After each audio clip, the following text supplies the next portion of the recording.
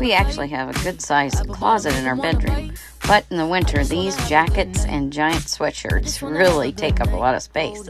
So I recently found these little clips. You put them on the hanger, like so, and then you can add several in a row, like this.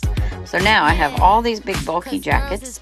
They'll go to the back of the closet, and they only take up enough space as one jacket. I did the same to my big sweatshirts as well. See? Look at all that extra space now.